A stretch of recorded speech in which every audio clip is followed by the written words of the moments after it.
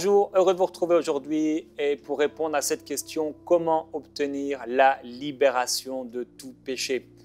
Le péché, eh bien, Jacques dira que nous branchons tous d'une manière ou d'une autre. Et ce péché-là, eh bien, on y fait face et euh, il est possible qu'une personne soit immédiatement libérée du péché quand elle croit au Seigneur, mais cependant, c'est euh, généralement pas euh, l'expérience de, de tout le monde. Et aujourd'hui, je vais répondre à cette question en prenant un enseignement de Watchman Nee très très fort. Je prie que vraiment les yeux de nos cœurs puissent être illuminés parce que vous allez réaliser que vous avez été libéré du péché. Et pour cela, vous devez comprendre euh, le chemin, euh, la loi du péché, on va en parler, et comment le Seigneur vous a libéré. Et donc, une fois qu'on a été sauvé, une fois qu'on est venu au Seigneur, euh, beaucoup de personnes retombent dans les mêmes péchés et, et réalisent qu'elles ont besoin de délivrance. En même temps, elles savent que ce péché déplaît à Dieu. Leur conscience a été purifiée, comme on l'a vu il y a quelques semaines, à leur nouvelle naissance. Et donc, elle est devenue comme euh, la conscience d'un bébé qui n'a jamais péché. Et donc, chaque fois que le chrétien pêche, eh bien, il se sent, il se sent mal. Il se sent mal, euh, il se sent mal à l'aise par rapport à Dieu. Et euh, une personne qui a été éclairée par Dieu, qui est sauvée, à une conscience qui est devenue très sensible. Et cette conscience, bien sûr, ben, cette vie de Dieu euh, condamne le péché. Alors beaucoup de chrétiens vont faire une chose, ils tentent de vaincre le péché. Et ils s'imaginent qu'à force de beaucoup d'efforts, ils réussiront à être libérés de ce péché particulier. Alors qu'est-ce qu'ils font? C'est que vraiment, oh, ils peuvent prier, prendre des décisions euh, pour ne plus pécher. Ils essayent au mieux de rejeter les, tentations, mais ils voient qu'ils retombent encore, encore et encore. Alors ils essaient de continuellement lutter contre le péché dans l'espoir de le vaincre. Certaines personnes encore euh, voient que le péché les a rendus captifs et ils s'efforcent d'être libérés de cet esclavage. En réalité, toutes ces pensées viennent de l'homme et ne correspondent pas à l'enseignement de la parole de Dieu. Aucune de ces méthodes ne peut mener à la victoire. Personne ne peut par sa propre volonté, en voulant vaincre le péché, en être délivré. La parole de Dieu ne nous demande pas de lutter contre le péché par nos propres forces. Elle nous dit que nous devons être libérés du péché et que le péché est une puissance qui asservit, qui rend esclave l'homme. Alors la façon de, de traiter cette puissance, la puissance du péché, n'est pas de la détruire par nous-mêmes, mais de permettre au Seigneur de nous en libérer. On a donc le péché et on n'a aucun moyen de l'extraire de nos vies. Et le moyen du Seigneur n'est pas de vaincre le péché, mais il nous sauve de la puissance du péché. On n'a pas à vaincre le péché, on a à être libéré de la puissance qui nous mène au péché. Donc, le péché est une loi. Dans Romains chapitre 7, verset 15, je vais lire un, passage pour vous. L'apôtre Paul dit, alors certains s'imagine qu'il parlait de lorsqu'il ne connaissait pas le Seigneur et d'autres au moment où il écrit ce texte. On croit que c'est au moment où il écrit ce texte, en tout cas on va le lire ainsi. Il dit ce que j'accomplis, je ne le comprends pas. Ce que je veux, je ne le pratique pas. Ce que je hais, voilà ce que je fais. Si ce que je veux, je ne le, je le, pardon, si ce que je ne veux pas, je le fais, je déclare d'accord avec la loi qu'elle est bonne. Maintenant, ce n'est plus moi qui accomplis cela, mais le péché qui habite en moi. Car je le sais, ce qui est bon n'habite pas en moi, c'est-à-dire dans ma chair, car je suis à moi-même de vouloir, mais non pas d'accomplir le bien. Je ne fais pas le bien que je veux, mais je pratique le mal que je ne veux pas. Si je fais ce que je ne veux pas, ce n'est plus moi qui l'accomplis, mais le péché qui habite en moi. Je trouve donc cette loi pour moi qui veut faire le bien, le mal est présent à côté de moi car je prends plaisir à la loi de Dieu dans mon être intérieur, dans ma conscience, Mais je vois dans mes membres une autre loi qui lutte contre la loi de mon intelligence et qui me rend captif de la loi du péché qui est dans mes membres. Malheureux que je suis, qui me délivrera de ce corps de mort? Grâce soit rendue à Dieu par Jésus-Christ, notre Seigneur. Ainsi donc, par mon intelligence, je suis esclave de la loi de Dieu, tandis que par ma chair, je suis esclave de la loi du péché. Donc on va trouver ici dans ces premiers versets, première partie que, je viens de lire, Paul va, euh, Paul va utiliser donc les termes je veux, euh, je ne veux pas, euh, je fais, je ne fais pas, la volonté, la décision. Et ensuite il va parler, il va mettre l'accent sur la loi. Et donc une loi, c'est quelque chose qui ne change jamais. Il n'y a pas d'exception. Il y a donc de la puissance dans une loi. Parce que cette loi ne change pas. Par exemple, la gravitation, c'est une loi. On peut faire ce qu'on veut, mais cette loi demeure. On pourrait, par exemple, dans un endroit, enlever euh, ou permettre à, la gravitation de, ne pas fonctionner en, voilà, en amenant des, des artifices, toutes sortes de choses, mais la loi demeure la même. La gravitation existe et c'est une loi. Et puisque c'est une loi, c'est une puissance. Et donc, la loi du péché, c'est pareil. Au niveau de, la gravitation, on n'a pas besoin de tirer un objet. Si je prends ce, crayon ici, je n'ai pas besoin de le tirer vers le bas pour qu'il tombe. De lui-même, si je le lâche, il tombe. Je n'ai pas à vouloir ou à dire à ce stylo, quand je le lâche, de tomber, mais la loi de la gravitation, qui est une puissance, le fait tomber. Je n'ai pas besoin de tirer avec mes forces vers le bas pour que cette loi fonctionne. Mais cette loi fonctionne d'elle-même parce que c'est une puissance. Donc, une loi ne change jamais. C'est une force naturelle qui ne requiert pas d'effort humain pour fonctionner. Et donc, Romains chapitre 7 nous montre que Paul essayait d'être victorieux. Il essayait de se libérer du péché. Il voulait plaire à Dieu. Il ne voulait pas pécher, il ne voulait pas tomber, mais finalement, il a dû accepter que ses efforts étaient vains. Il ne réussissait pas. Il ne voulait pas pécher, et pourtant il péchait. Il voulait faire le bien, il voulait marcher selon Dieu, écouter sa conscience, écouter la loi de Dieu, et il n'y parvenait pas. Paul faisait constamment des efforts, et à chaque fois, c'était une défaite. Il faisait un effort, c'était une défaite. Il faisait un effort, c'était une défaite. Il, il prenait une résolution, et il retombait. Encore, encore et encore. De toute évidence, il voulait, mais il dit, il ne pouvait pas. Il ne réussissait pas. Il avait la volonté, mais de là à pouvoir, ça ne marchait pas. Alors tout ce que l'homme peut faire, c'est prendre des résolutions. Mais l'homme n'a pas le pouvoir, la capacité contre la loi du péché et de la mort. En fait, cette loi du péché était présente à l'intérieur de lui. Et ça l'empêchait de faire le bien. Il était soumis à la loi de Dieu dans, son cœur, mais sa chair cédait à la loi du péché. Et chaque fois qu'il essayait de mettre en action la loi de Dieu, de l'Esprit, eh bien, il était, il était euh, euh, il y avait une force opposée, contraire, c'était la loi du péché dans sa chair. Et donc, cette loi du péché a également une puissance. Quand quelqu'un, un chrétien, tombe dans le péché encore et encore, il essaye encore, aller avec plus d'efforts, euh, il dit, allez, cette fois-ci, je vais réussir, etc. Mais qu'il retombe encore, encore et encore, il doit arriver à une conclusion. Ce n'est pas juste comme ça un péché isolé, c'est une puissance. Il y a une loi qui est en opération et qui fait tomber cette personne. Alors, l'apôtre Paul tombait parce qu'il exerçait sa volonté pour prendre des résolutions. Et il dira, mais misérable que je suis, qui me délivrera de ce corps de mort? Et bien sûr, il y a une réponse puisqu'il s'écrira, mais grâce soit rendue à Jésus-Christ. Alors, qu'est-ce que la volonté? La volonté, c'est ce que l'homme veut, c'est ce que l'homme détermine, ce qu'il décide de faire, ce sont les, jugements et les opinions de l'homme. Donc là encore, je suis en train de partager euh, l'enseignement de Watchman Nee. Et euh, cette volonté humaine, elle peut produire beaucoup de choses, et donc il y a une puissance dans la volonté. C'est une loi, comme une loi. Et cette puissance de la volonté, elle va donc aller à l'encontre de la puissance de la loi. Donc, par exemple, quelqu'un dit, moi, je ne vais, je vais pas pécher, aujourd'hui, je ne pécherai pas.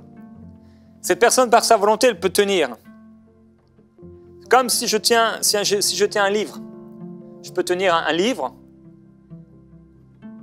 mais au bout d'un moment, la loi de la gravitation fera son effet tout cas, elle fait son effet en tout temps. Et le livre va devenir de plus en plus lourd. Et finalement, mon bras va se baisser et à la fin, je ferai tomber le livre. Parce que la loi de la gravitation est en train de pousser les choses vers le bas et elle le fait d'elle-même. Donc, quand je veux ne pas, quand je veux, pas pécher, la puissance de ma volonté est moins forte que la puissance de la loi du péché et de la mort. Et donc, c'est ce que l'apôtre Paul, il dit, mais misérable que je suis. On peut essayer de retenir la loi donc, de la gravitation, la, puissance, mais au bout d'un moment, on peut essayer d'empêcher de tomber le livre, mais il tombera. Pourquoi? Parce que la loi de la gravitation ne se fatigue jamais. Elle fonctionne tout le temps. Elle n'a pas besoin d'une volonté humaine pour être exercée. D'elle-même, elle fonctionne. Eh bien, le péché, c'est pareil, c'est une loi. Il ne peut pas être détruit par la volonté de l'homme. Que dès que la puissance de la volonté se relâche, donc ça veut dire on se relâche un peu, à ce moment-là, la loi du péché prend le dessus. La volonté de l'homme ne peut pas durer indéfiniment, mais la loi du péché est toujours présente. Pourquoi? Parce que c'est une loi. Donc quand la tentation survient, on va, on va essayer de, de vaincre et finalement, on est vaincu. Et quand la tentation revient de nouveau, on prend une résolution plus ferme, plus ferme, parce que la fois d'avant, on est tombé. Alors cette fois-ci, on dit, allez, cette fois-ci, je vais réussir. Et qu'est-ce qui se passe? Donc, il est impossible à l'homme de vaincre la loi du péché et de la mort par sa volonté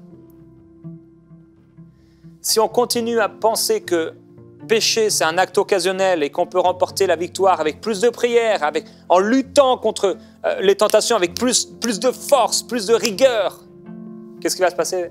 On va tomber. Encore, encore, encore, encore et encore. Par contre, quand on réalise que le péché est une loi, on n'est pas loin de la victoire. Dès que l'apôtre Paul ici, il nous parle, il a, il a réalisé que c'était une loi. Il a réalisé qu'aucune de ses méthodes pour vaincre le péché ne réussissait, que sa détermination était inutile, qu'il ne pourrait jamais vaincre la loi du péché par sa propre volonté. Il était proche du but. Et il était proche d'une révélation extraordinaire. Tant que l'homme se confie, écoutez, Tant que l'homme se confie dans sa volonté, il ne trouvera pas le chemin vers la délivrance. Tant que l'homme se confie dans sa capacité, dans ses résolutions, il ne trouvera pas la délivrance.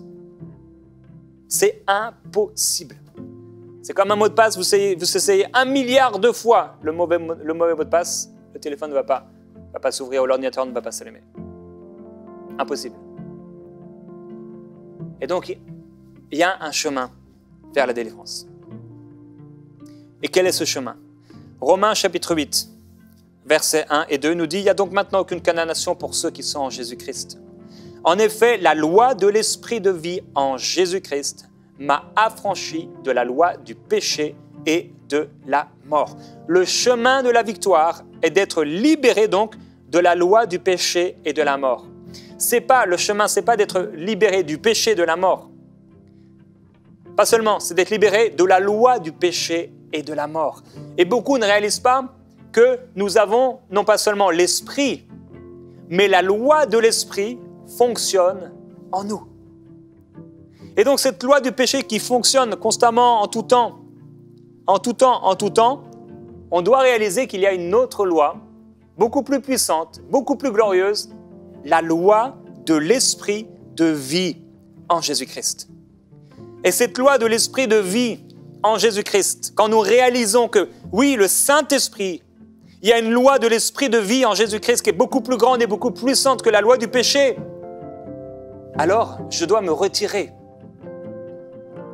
pour que la loi de l'esprit de vie prenne le dessus sur la loi du péché et de la mort. Et c'est là qu'on peut s'écrier, grâce soit rendue à Dieu en Jésus-Christ, qui nous a délivrés.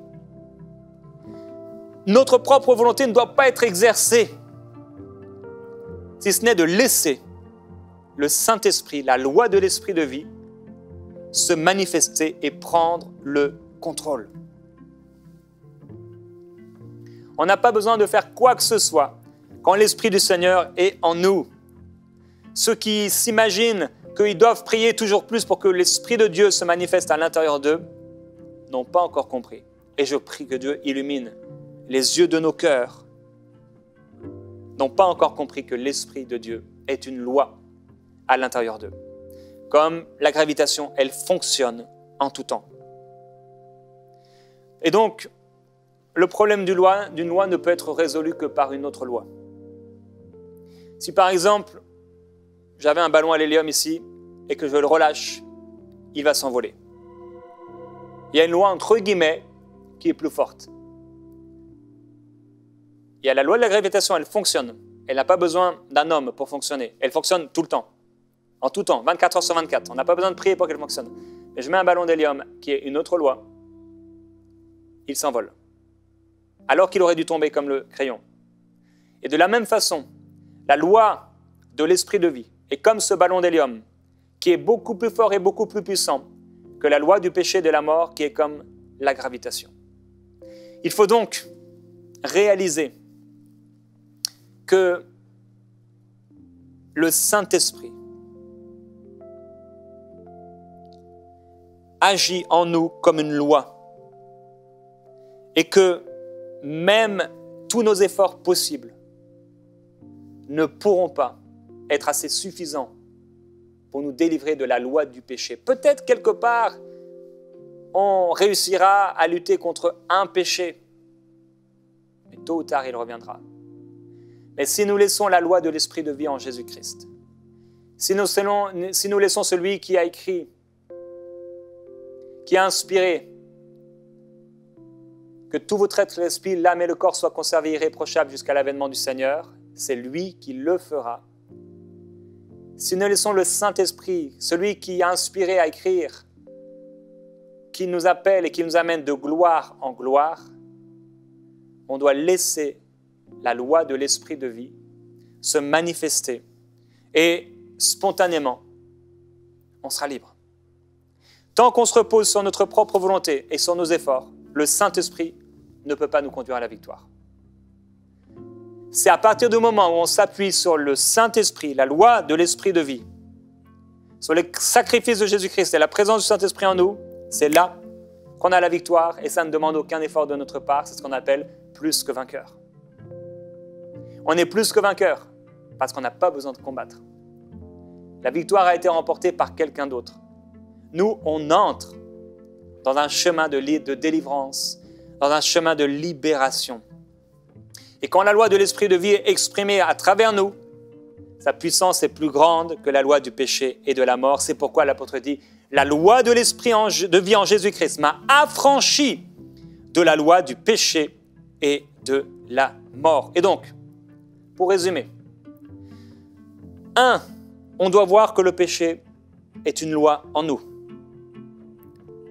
Et si on ne voit pas cela, on ne pourra pas être libéré. Et que cette loi en nous est une puissance. Deuxièmement, on doit voir qu'on ne peut pas surmonter cette loi du péché et de la mort par nous-mêmes. Troisièmement, on doit voir que le Saint-Esprit est une loi et que cette loi nous délivre d'elle-même du péché, sans qu'on ait rien à faire. Comme la loi de la gravitation qui agit sans qu'aucune une volonté humaine n'ait été exercée. La loi de l'Esprit qui a été mise dans nos cœurs s'exerce d'elle-même et fonctionne d'elle-même sans notre propre volonté. Mais quand on agit avec notre volonté, qu'on s'imagine que par nos efforts, on peut être libéré du péché en serrant les dents, ah à ce moment-là, on reprend le contrôle, le dessus, et on ne permet pas à la puissance du Saint-Esprit de se manifester à travers nous, et ça c'est la religion. Ne pensons pas que le Saint-Esprit qui est en nous n'exprime sa vie qu'occasionnellement. si on pense ça, ça veut dire qu'on n'a pas encore réalisé, qu'on ne connaît pas encore la loi de l'Esprit. Cette loi fonctionne en tout temps.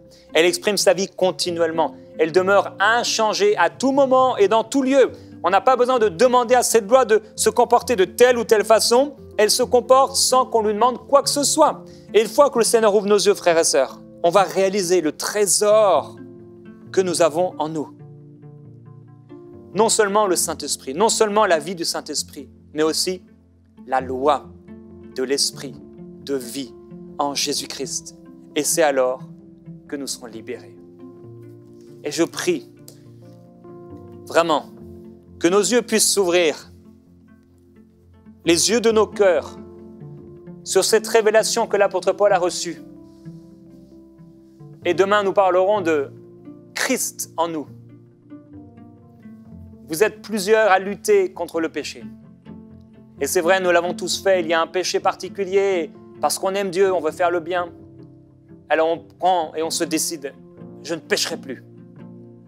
Et alors quand on est tenté, on dit non, non, peut-être que quelqu'un aura l'audace de, prier ou de déclarer la parole. Et à un moment, paf, la personne retombe. Combien de personnes m'ont écrite et euh, m'ont dit ou m'ont parlé, m'ont demandé, je vais être délivré de la masturbation, je vais être délivré de la pornographie, je vais être délivré du mensonge, de telle et telle chose. Et je vois des gens qui, ils veulent, ils veulent, ils veulent, ils veulent, ils veulent, ils veulent, parce qu'ils aiment Dieu.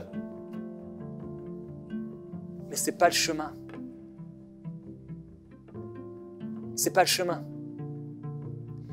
Parce que notre volonté, qui est une puissance, c'est vrai, n'est pas assez forte pour lutter et vaincre la loi du péché et de la mort. Mais il y a une autre loi, la loi de l'esprit de vie en Jésus-Christ. C'est lui qui nous sanctifie. C'est son œuvre. C'est l'œuvre de sanctification. Et pour être totalement consacré à Dieu, nous devons réaliser qu'en fait, il a tout fait et que de la même façon que c'est lui qui nous a consacrés, c'est lui qui nous a sanctifiés. C'est pourquoi remercions le Seigneur pour la loi de l'esprit de vie en Jésus-Christ. Père, nous voulons te dire merci. Mais aussi, Père, je prie vraiment que tu ouvres notre intelligence et que tu illumines les yeux de nos cœurs pour qu'on comprenne vraiment avec notre cœur qu'est-ce qui s'est passé et qu'est-ce que tu veux faire. Tu ne veux pas qu'on accepte le péché. Tu ne veux pas qu'on tombe dans le péché.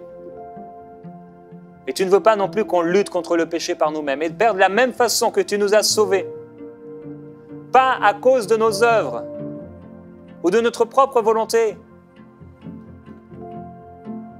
mais tu nous as sauvés par ta grâce, parce qu'il y avait une loi, ton sang, qui nous a justifiés, Père,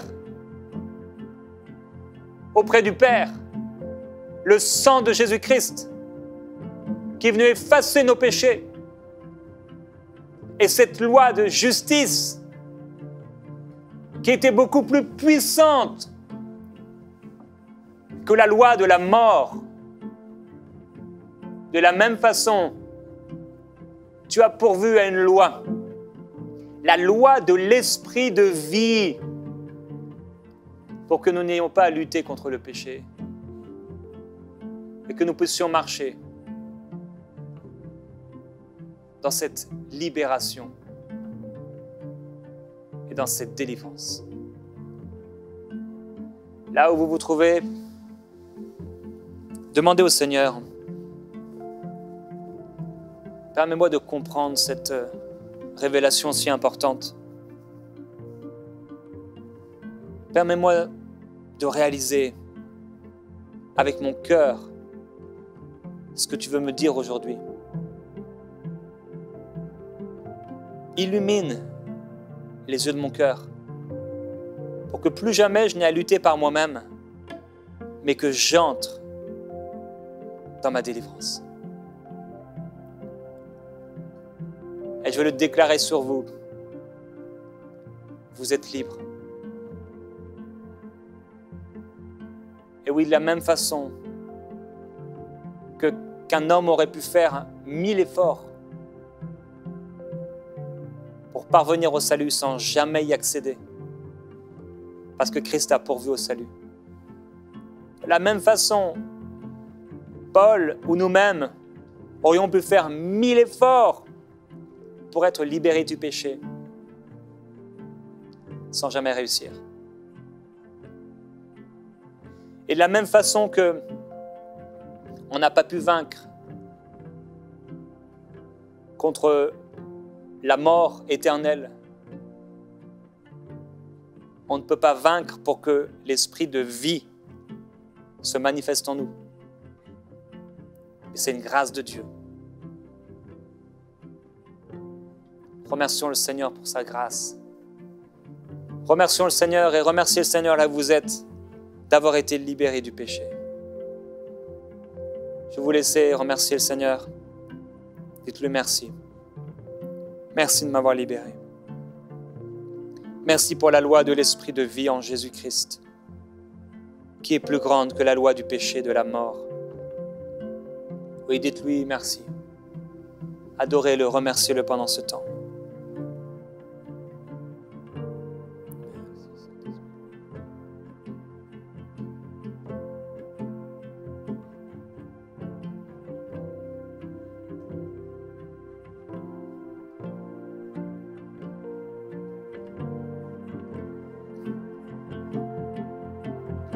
Et quelqu'un va s'écrier, je n'ai plus besoin de péché.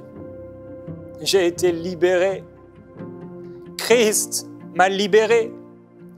Quelqu'un réalise pour la première fois qu'il n'a plus besoin de faire d'efforts, mais que Christ a pourvu à sa délivrance et qu'il a été affranchi de la loi du péché, de la mort, qui combattait, qui agissait dans ses membres que quelqu'un loue l'Éternel, que quelqu'un adore le Seigneur Jésus-Christ. Alléluia. Oui, que quelqu'un glorifie l'agneau de Dieu, l'agneau immolé qui a vaincu non seulement le péché, mais la loi du péché et de la mort. Oui, qui a non seulement vaincu la mort, mais la loi de la mort. Remercions le Seigneur de ce qu'il nous a libérés. Tu nous as libérés, Seigneur. Nous n'avons plus à lutter par nous-mêmes. Oh Seigneur, merci de ce que tu as pourvu. Merci pour cet héritage. Père, je prie qu'on découvre toujours plus ce que tu as pourvu en Christ, ce que tu as fait pour nous. Déclare que tu es libre.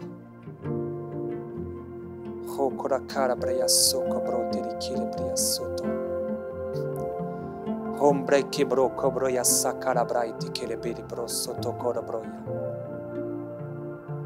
Rurki ki bra baba ya soko bro pi braya soto. Au nom puissant de Jésus-Christ, que tout mensonge disparaisse maintenant, que toutes les mauvaises habitudes, que cette loi du péché, de la mort, soient liées dans ta vie. En réalité, tu n'as rien besoin de faire si ce n'est de la laisser opérer en toi et d'arrêter d'essayer par toi-même. Alléluia, quelle grâce. Oui, les captifs sont rendus libres, les prisonniers sont relâchés, les oppressés sont délivrés, les pécheurs sont sanctifiés. Merci pour la liberté glorieuse des enfants de Dieu. Nous t'aimons Seigneur. Amen.